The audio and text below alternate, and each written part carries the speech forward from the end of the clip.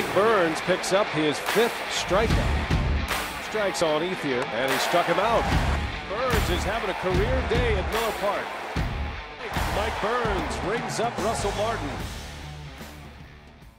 Hi, I'm Coach Mike, and today we're going to go over four exercises in our plyo ball phase of our eight-week throwing program.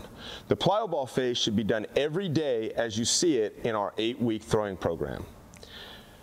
The plyo balls are good to be used against a block wall, a chain link fence, or even the power net that we're going to use behind us today.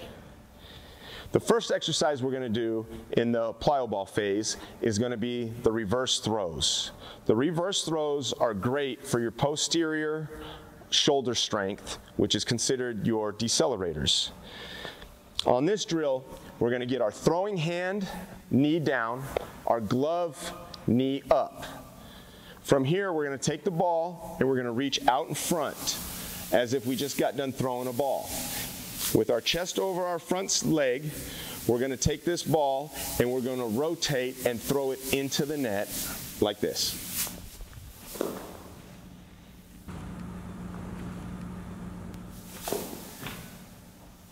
Now, depending on what your level or what phase you're going through, in the eight week program will determine what weight of ball you're going to use and how many reps and sets you're going to do you're going to use.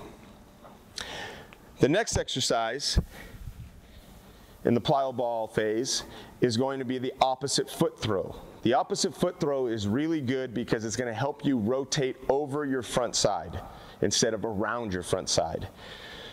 On the opposite foot throw, you're going to get perpendicular to the net. With your throwing shoulder closest to the net, you're going to have your feet shoulders width apart.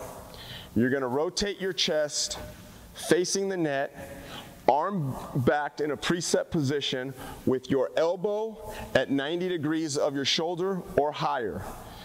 The ball in your hand should be either 90 degrees or inside 90 degrees in your preset. As you rotate and preset, now you're just going to rotate over your front side, throwing the ball through the net.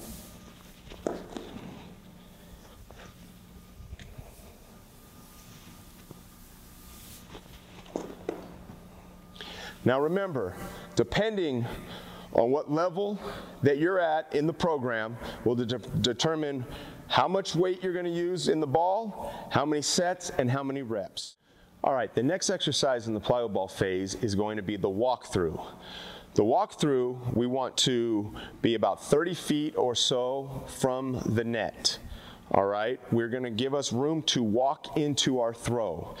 We want our toes pointing straight ahead to help keep our hips from rotating.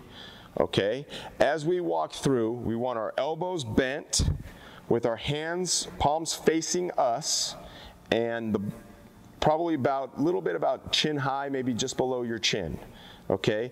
As you walk to your target, you're going to rotate your shoulders, trying to keep your hips parallel with the net.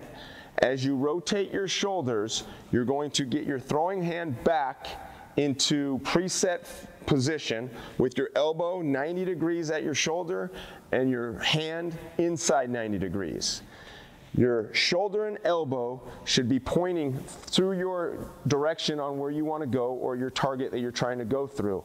People say point your glove. The biggest key is your shoulder and your elbow. It doesn't matter if your glove's straight or bent a little bit as long as this is pointing to your target. So this is good for the fact of having hip shoulder separation. All right, so our elbows are bent, palms facing, toes pointing straight ahead. We're going to walk in, rotate, and make our throw.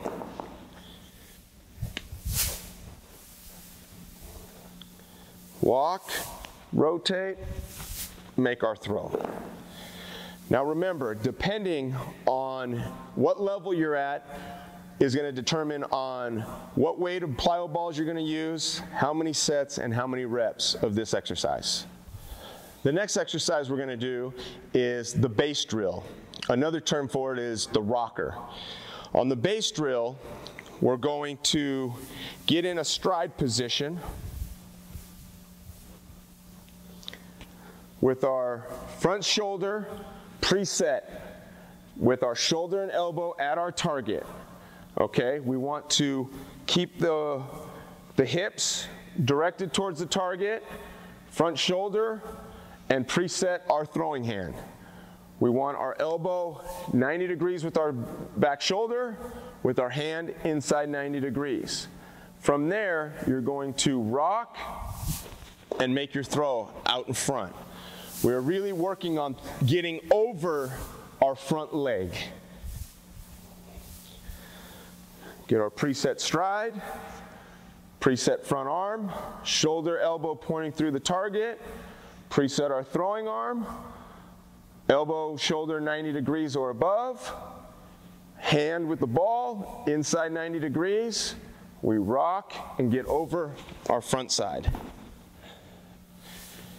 And don't forget, it is very important to follow the program, to use the, the weights of the plyo balls that are directed, and how many sets and reps for you.